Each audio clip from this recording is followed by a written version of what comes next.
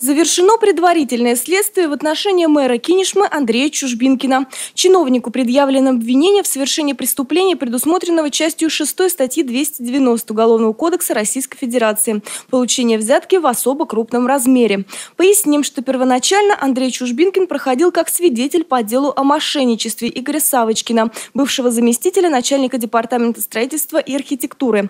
По мнению следствия, последний незаконно получил 2,5 миллиона рублей за решение вопроса подписания актов приемки выполненных работ во время строительства областной детской клинической больницы. Позднее выяснилось, что полученная сумма не обошла стороной и руководство Савочкина в лице Андрея Чужбинкина, и его тоже арестовали за мошенничество. А 14 мая Следственное управление в отношении уже самого Чужбинкина возбудило уголовное дело по другой, еще более серьезной статье – получение взятки в особо крупном размере.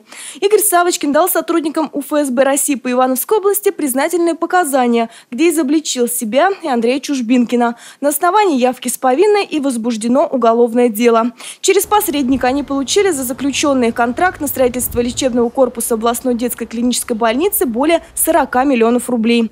Напомним, Андрей Чужбинкин находится под домашним арестом до 24 июня.